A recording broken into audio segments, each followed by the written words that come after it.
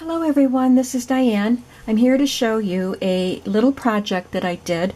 I um, wanted to enter this as a design team um, audition, I guess, for Artzology. And um, I didn't see the call. She had a video of a call for design team members. Um, so I think it was out for a month before I saw it. So it's due um, the 15th. So I've been working on this and you haven't seen a glimpse of it at all because um, I've done it all downstairs pretty much while I'm watching TV with collaging. I did some of it up here and the cover of course I did up here. The only sewing in the in the entire journal is on the cover. So it's a cute little project and I'm thinking I want to um, do another one on camera so you can see how I made it because it's different from things you've seen before. So I went to her site to see what she had, to see if I wanted to enter for the design team. And I fell in love with these.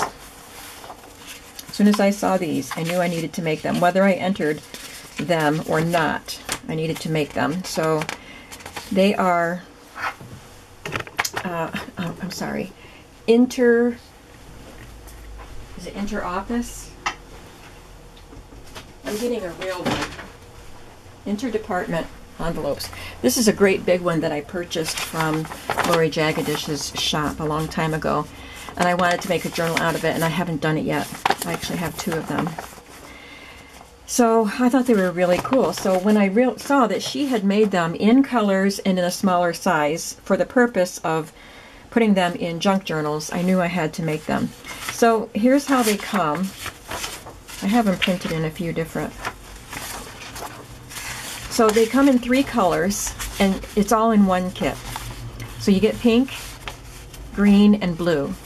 This is what they look like printed on uh, cream vellum.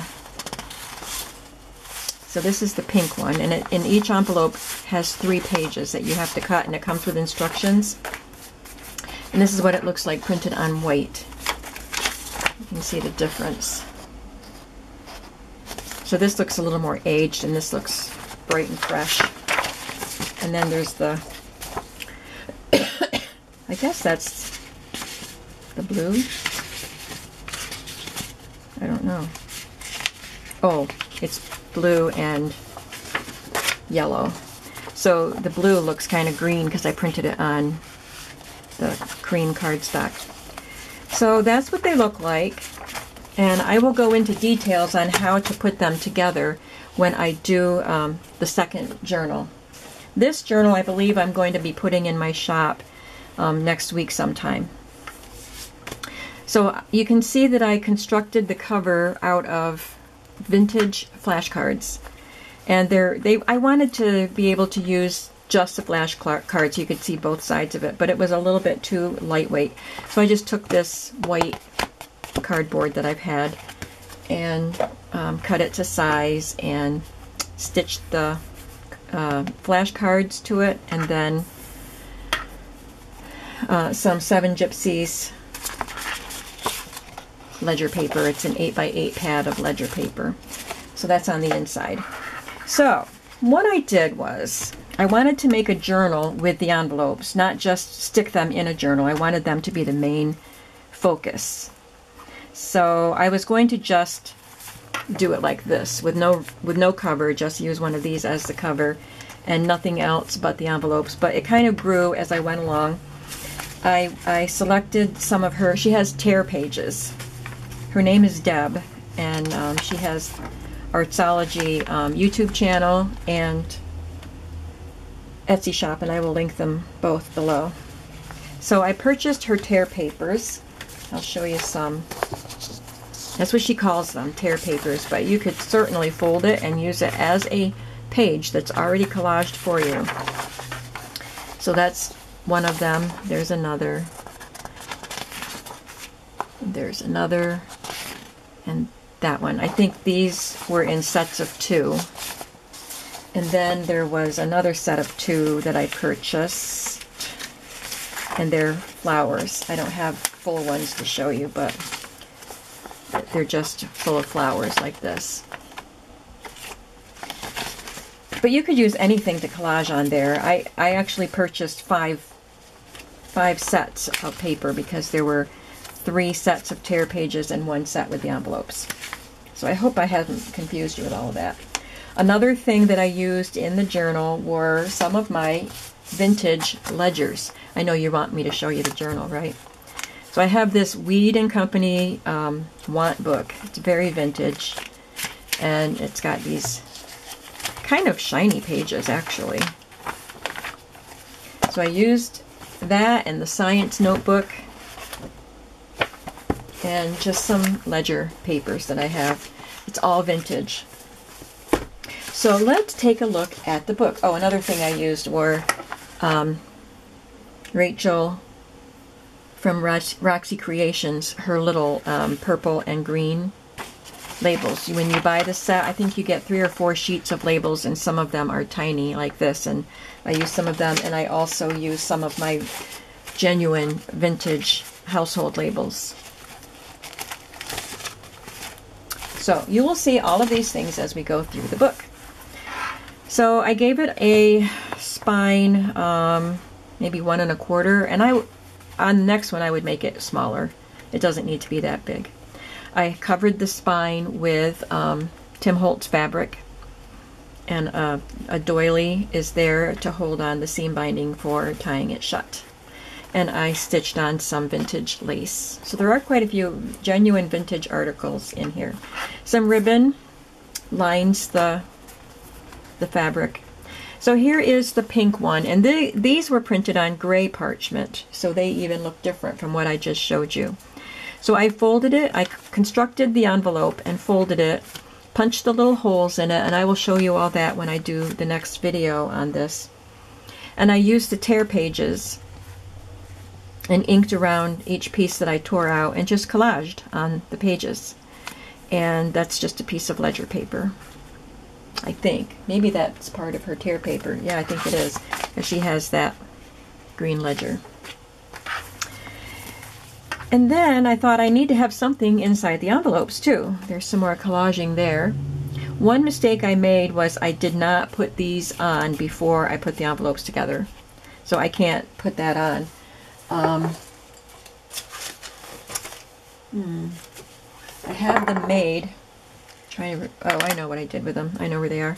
But I'm gonna, I don't know if I can, but I'm gonna see if I can glue it on and glue the, the, the thread here and have it wound around. If not, this is here for decoration. So there's some more collaging on that side. And then inside I cut craft cardstock for each pocket. And there will be six pockets. There are three envelopes, but they're folded, and so there are six pockets. So this is where I used my genuine ledger paper. I used my Uhu glue, and I don't think it works very well gluing to the, the cardstock, so I'm going to fix that with some tacky glue. it works great on paper to paper. It holds really well, but I had trouble getting it to stick to the parchment and to the cardstock. So that's what I had downstairs while I was working. But I'm fixing it with the tacky glue, whatever's coming loose. And there's one of my very vintage labels on that side, so you can journal on that side. You could journal here too if you wanted to. You can do some writing on the envelopes. You could take the cards out and use the envelopes for lists, um, coupons, um, uh, receipts, whatever. Whatever you want to do. There are six envelopes in here. So here's one of the tear pages. In between the envelopes, I just cut down the tear pages and used them as a page. So there's one of them. And I just inked the back side and left it plain. You can write on it or glue more stuff. So there's a blue page, a blue envelope with collaging on it. And these are all pieces from her tear sheets. And this one, I put the middle one with the flap on the opposite side. And so the side that doesn't have the flap, I just trimmed off the top so you have a pocket here. And there's, I think that's upside down, there's the card for in there. I used some mulberry paper and some vintage um, piano music. And that's my very favorite ledger paper with pink and purple and blue lines on it. So this was really fun to make. I would I was working on the Victorian journals during the day, and then in the evening when I watched TV, I was collaging on these because that was playtime for me. It's caught on something. I'll work on that. So there's some more collaging with her images. Here's the next tear sheet that I left intact. And some more collaging. This was the yellow one and it's on gray so it it looks a lot different. This one is on the cream color and then this one is on white. So there's quite a difference in the color depending on what paper you print them on of course.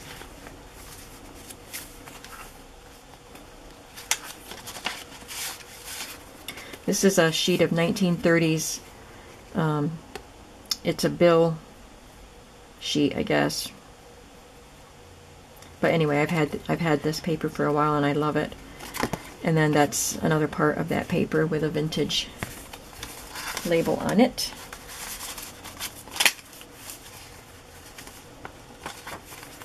And there's the center. I used um, 32 pound um, presentation paper to print these on, so it's got a really nice smooth feel to it. It's very nice paper. There's room here for writing and some more collaging here.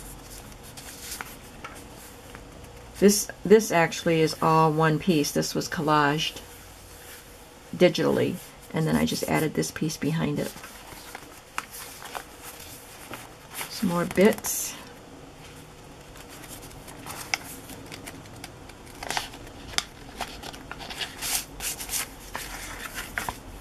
This is from the science notebook with someone's notes on their um, experiment. I thought it was pretty cool. And then room to journal. This is one of the blank pages from that notebook. It says observations and computations. And this is one of Rachel's labels.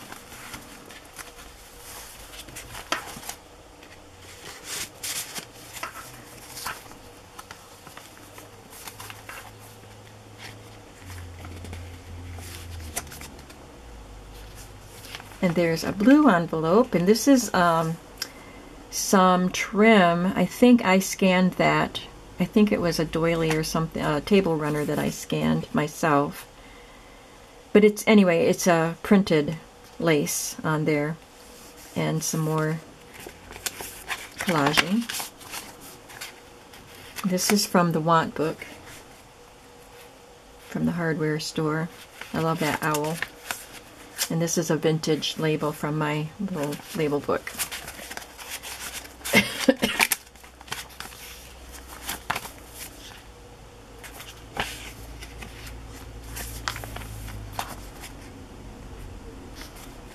and here's the last side of the envelope. This is a little scrap from ledger paper, vintage ledger paper. And this one, I think that page is from that science notebook also. On one of Rachel's labels. So it's a little book. Um, let me see here. Four and four and a half by six and a half.